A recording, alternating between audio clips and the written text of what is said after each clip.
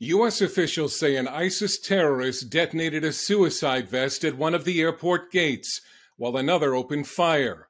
A second bomb went off outside a hotel about 300 yards away. The first blast happened at what is known as the Abbey Gate, where American citizens would line up to board evacuation flights. The victims were standing outside the gate in this sewage canal when the explosion occurred. The second blast near the Baron Hotel. This phone video of the aftermath is so graphic it had to be blurred. It shows piles of dead bodies.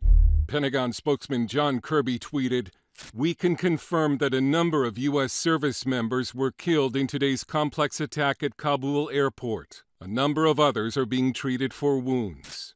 The Taliban have condemned the attack, saying it occurred in an area controlled by U.S. forces. ISIS terrorism has been expected after large numbers of ISIS fighters were believed to have been freed from prisons during the Taliban's rapid advance.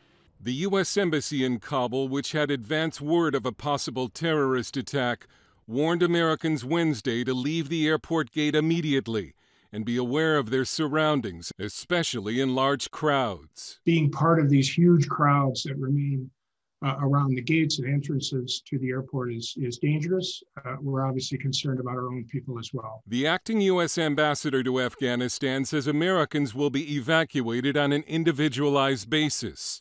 Secretary of State Antony Blinken says as many as 1,500 American citizens could still be in Afghanistan and insist those who want to leave will be able to. There is no deadline on our work to help any remaining American citizens who decide they want to leave to do so, along with the many Afghans who have stood by us over these many years. But it's unclear how Americans or our Afghan allies can be evacuated after U.S. forces leave in less than a week.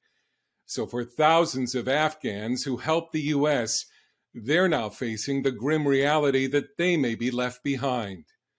Dale Hurd, CBN News.